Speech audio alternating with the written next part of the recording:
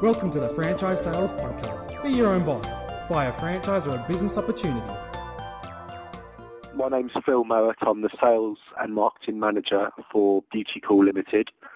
Beauty Call is a team of hair and makeup artists and we provide services for weddings and events.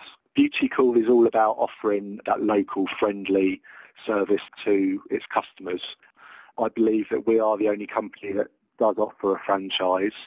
Other companies would work purely as an agency, so they've got their head office and then they've got the girls on their books. But we're handing over the responsibility to business-minded makeup artists who want to develop their own business, but they need the support of us to help them get there. The initial investment is £3,500. We are offering payment terms to pay over three years should people want to. And then we take a 16% commission off of any job over £100. They get the exclusive territory. Everything's done online. All the inquiries come in and the franchisees log in to see all of their bookings and all of the end of month reports are done via that way as well. We pay for their first wedding fair. And finally, they also get access to our list of vetted trained artists.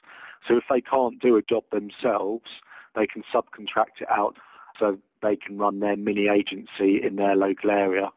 There's ongoing training. It's my full-time job to make sure that they're successful. So I'm here to help and support them and we can offer catch-up meetings and training sessions and things like that. We're hoping the franchisees would get to a minimum of 80 jobs per year.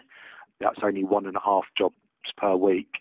The average wedding comes in at about £300 times the 80 jobs, you're looking at a revenue of £24,000.